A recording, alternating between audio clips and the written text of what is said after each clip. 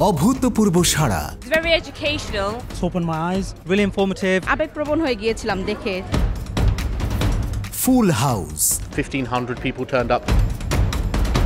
London Birmingham এবং ওল্ডহামে পাঁচটি সফল প্রদর্শনীর পর মসজিদ আল হারাম এবং কাবার উপর নির্মিত film one day in the Haram আবারও আসছে লুটনে আঠাশ ফেব্রুয়ারি মঙ্গলবার দি ড্যালো সেন্টারে টিকিটের জন্য ভিজিট করুন TV one UK dot TV forward slash events পরিবারের সবাইকে নিয়ে ফিল্ম উপভোগ করুন এবং আল্লাহর দিনের দাওয়ার কাজে সহযোগিতা করুন।